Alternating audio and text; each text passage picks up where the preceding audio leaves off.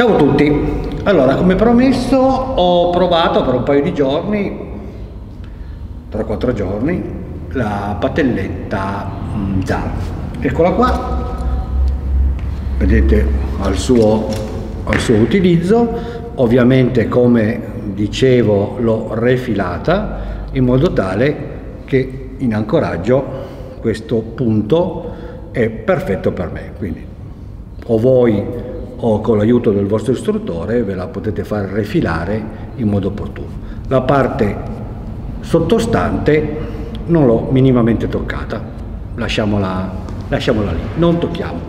Anche la sua lunghezza, eh, ho scelto alla fine, ho scelto una M per eh, le mie mani perché c'è la S, la M e la L, ci sono tre misure eh, per le mie mani la M va benissimo, la vediamo, vediamo le dita come devono essere in questo modo.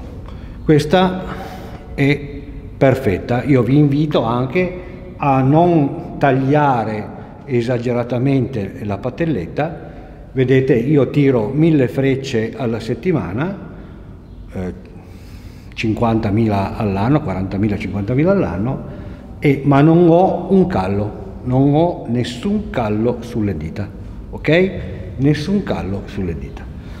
Ovviamente non tiro mille libre, ho le mie 33-34 libre sui miei archi, ma non ho assolutamente nessun callo sulle dita e la patelletta deve essere tagliata in questo modo, solo refilata in questo modo. Vediamo, vediamo il tiro col mio fido Smart Riser, vi ricordo sempre che Smart, Riser fa la maggior parte del lavoro, lo vediamo e mi trovo egregiamente. Facciamo il nostro stream walking e vedete, come abbiamo visto la volta scorsa, che abbiamo i riferimenti sulla patelletta, ma abbiamo anche queste linee, queste microlinee che mi permettono di fare un preciso stream walking senza andare a attaccare la patelletta alla corda. Quindi io conto eh, 2, 4, 6 e vedo sulla linea dove mi devo posizionare e qua mi posiziono. Ok?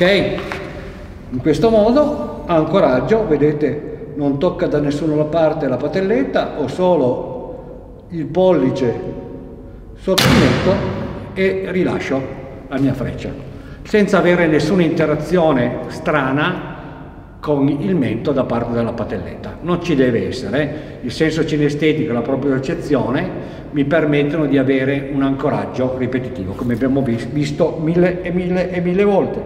Proviamo a tirare anche la spennata con lo string dei 18 metri, ancoraggio, espansione, rilascio.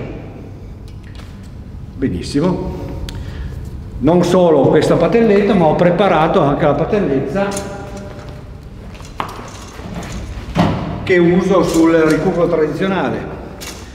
Perché nel ricurvo tradizionale vi ricordo non si può utilizzare la piastra metallica con lo scopo di ancoraggio ma bisogna utilizzare una patelletta fatta completamente in pelle. Eccola qua anche questa l'ho refilata in modo tale che non ci siano interazioni. La vediamo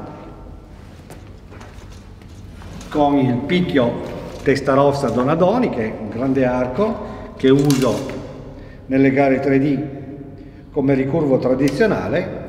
Lo vediamo, ovviamente prendo sotto cocca come tutti i ricurvi tradizionali, ancoraggio, non ho nessuna interazione, una presa perfetta, rilascio ok? Naturalmente io non metto dragona, vi invito anche voi a provare.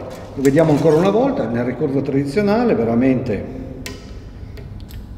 è una ottima sensazione, la patelletta Zara, vi ricordo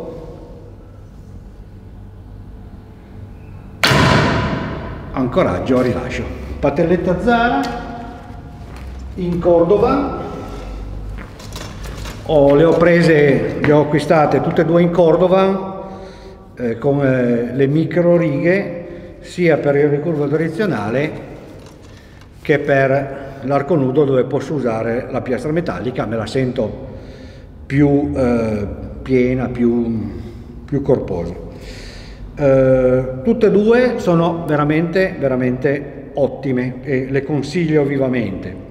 Eh, una, una cosa che non credevo, non credevo, invece mi devo ricredere, è questa è il sottopelle, la parte sottopelle che in sintetico è una microfibra che io ho impregnato di ehm, cera e grasso che anche Zara mette a disposizione, se non la trovate in giro al supermercato la potete acquistare direttamente da Zara o nei migliori negozi ovviamente che trattano il materiale Zara che io non faccio nomi ma le cercate su internet visto che non mi sponsorizzano i negozi eh, ve le dovete cercare da soli.